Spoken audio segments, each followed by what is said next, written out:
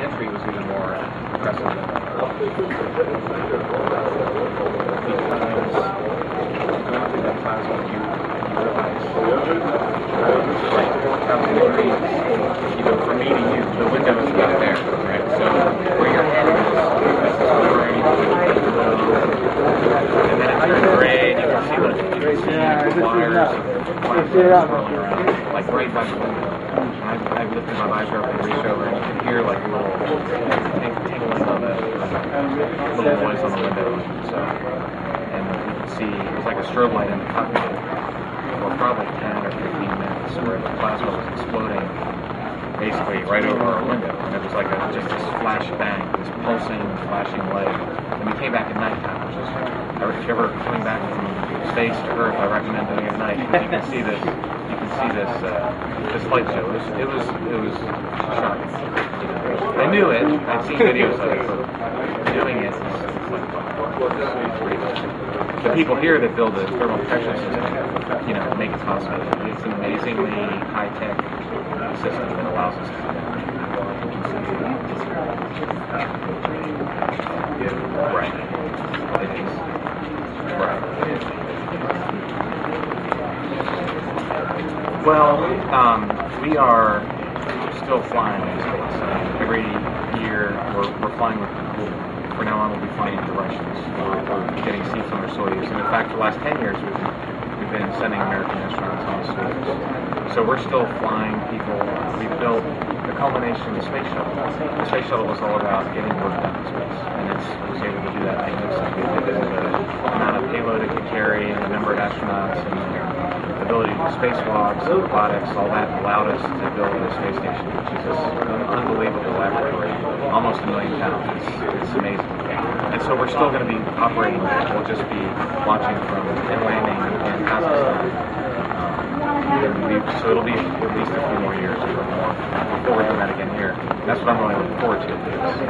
That's what we need to be doing is launching Americans right here in the United States.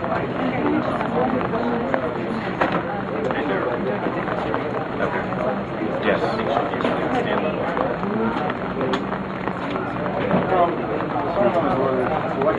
You know, I had a weird thing. Everybody has different physiological things, and the good news is on a short duration flight, they you come back and a couple days later it's fine.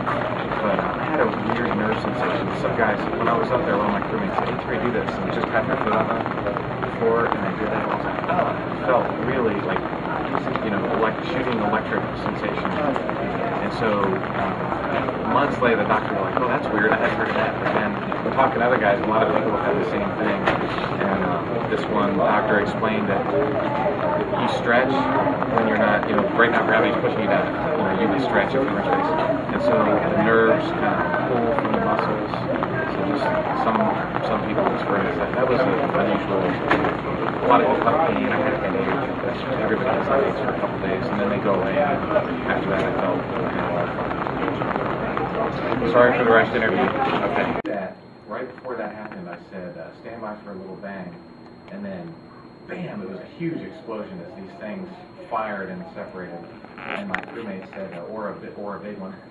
And uh, so that that was that, and then you're and then you're back to about normal Earth one G for a few minutes, and then as the propellant burns, shuttle gets lighter, and the acceleration gets bigger, and so you get smashed back in your seat um, for out to about eight and a half minutes, and then right then the engine shut down, and you kind of get thrown forward in your seat, and then you're floating, and then you're in space.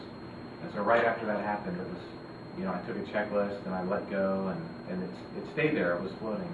And then, but then when that happens, the rockets fire to maintain attitude. So you, there's so much thrust and extra fuel that are getting dumped out the back that um, the rocket would start rotating or pitching. And so the shuttle thrusters have to fire to keep it level. And so that sounds like a gun.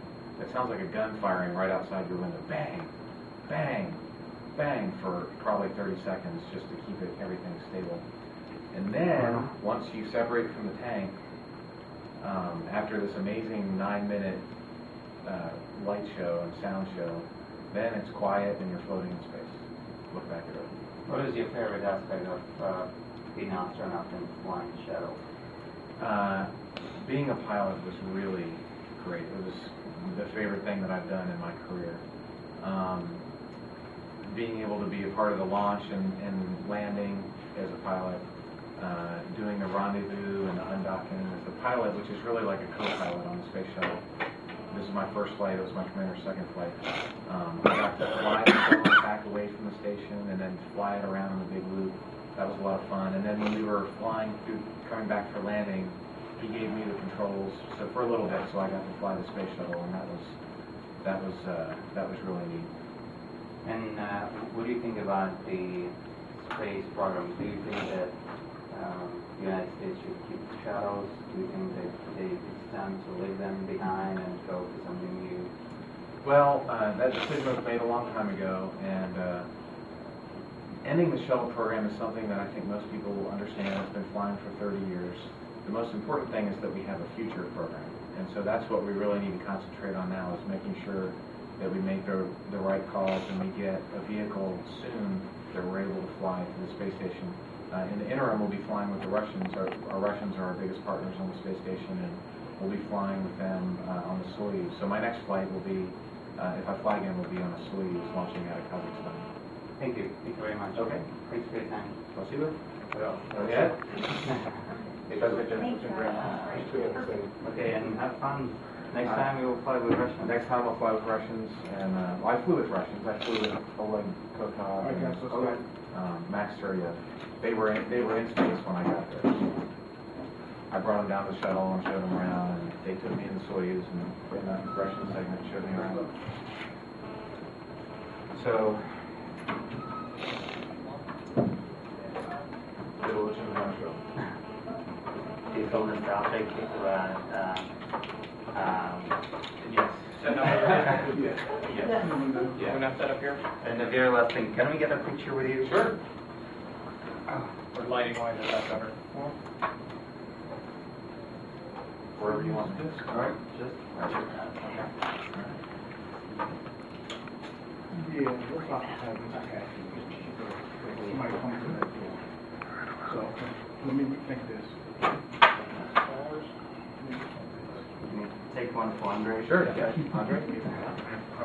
Nazad, this is Evan back up. Yeah. Yeah, this is it? I want a picture with them.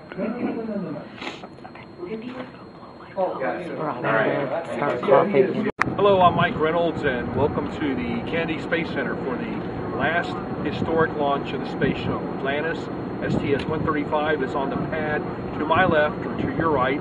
Behind me, you see the very historic vehicle assembly building that was used originally to assemble the mighty Saturn V rockets and roll them out to the pad for launches to the moon and of course the space shuttle from STS-1 in April 1981 where I was at this very site to today's Omega launch, STS-135 Atlantis. I like imaging shuttle launches. I image them for a, for a variety of agencies, including my own educational purposes. But for this launch, I'll be using the Explorer 102 millimeter um, APO. This is a true APO refractor. And for my imaging instrument, I'll be using the Canon um, EOS 5D Mark II. And I like this setup because you're talking about something that's roughly f7, which is a pretty good f-stop for, for shooting a shuttle launch. Um, and the versatility of the Canon gives me kind of a really nice combination of things to image. You know, the other thing I love doing, of course, is imaging eclipses. And I've traveled all over the world to image eclipses. I usually use the um, 80 millimeter Explorer APO to image eclipses, but this is also a package one could look at for imaging eclipses. So we're hopeful that in about T minus, believe it or not, uh, two hours, T minus two hours from now, we'll have a launch of STS 135. Otherwise, we'll, we know we'll get it. We'll get some good shots of it, and we'll keep looking up.